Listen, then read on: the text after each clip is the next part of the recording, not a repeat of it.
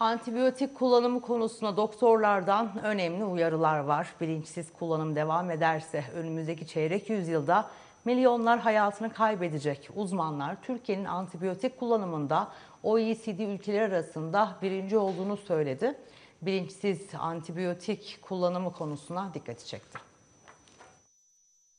E, Dünya Sağlık Örgütü antibiyotik direncinin e, en önemli ilk 10 sağlık problemi arasında olduğunu tespit etti. Sadece 2019 yılında antibiyotik direncine bağlı bakteri enfeksiyonlarından 1.3 milyon kişi maalesef öldü.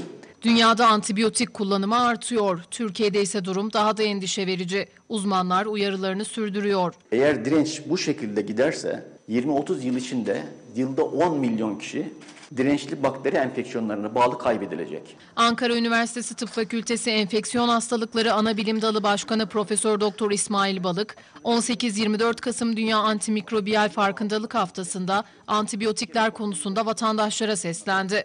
Antibiyotikler bir ateş düşürücü değildir, bir ağrı değildir. Gelişi güzel kullanılacak bir ilaç değildir. Mutlaka ve mutlaka bir bakteriyel enfeksiyon varlığında ve hekimin tavsiyesiyle kullanılması gerekir. Antibiyotik direnci nedeniyle hastalıkların iyileşemediğini belirtiyor Profesör Doktor Balık. Gripte, nezlede etken virüslerdir ve virüslere asla antibiyotikler etkili olmazlar.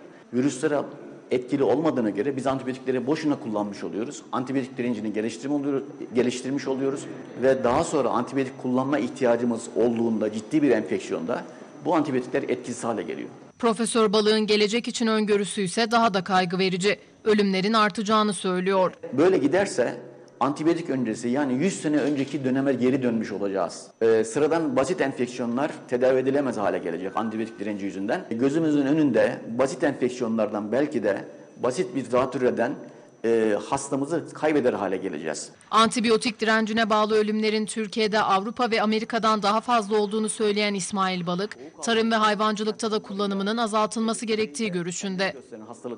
Bir uyarıda Ankara Üniversitesi Veteriner Fakültesi Dekanı Profesör Doktor Ender Yarsan'dan geldi. Rasyonel etkinin ortaya çıkabilmesi için gerçekten akılcı kullanılmaları, bilinçli kullanılmaları gerekir bu ilaç gruplarının.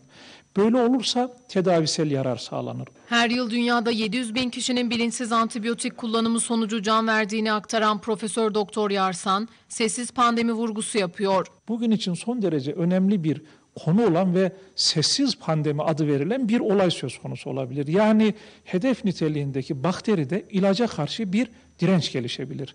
Artık ilacı siz kullansanız da istenilen şekilde kullansanız da artık o ilaçtan beklenen, antibiyotikten beklenen gerçekçi etkiler ortaya çıkamaz.